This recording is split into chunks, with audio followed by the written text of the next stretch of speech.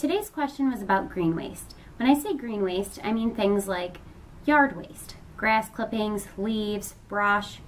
The question specifically asked, how much does it cost to dispose of green waste in Oneida and Herkimer counties? Well, residents in the in Oneida and Herkimer counties can bring green waste to either our Utica or Rome convenience station.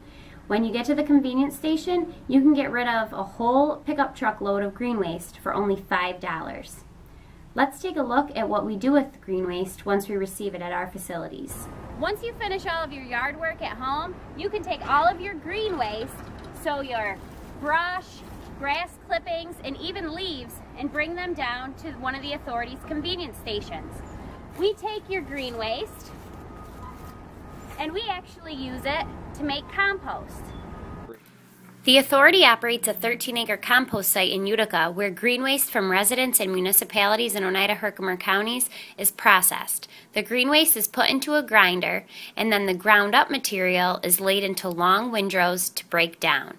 Once the process is complete, we have a high quality compost. This is our finished compost. We take our finished compost and sell it back to residents. You can get a small truckload of compost for $15 or a large pickup truckload for $20. We also have bags of compost and we sell our bags of compost for $2 a bag or you can get three bags for $5. It's great to use in your gardens and around your landscaping. It has everything that your plants need.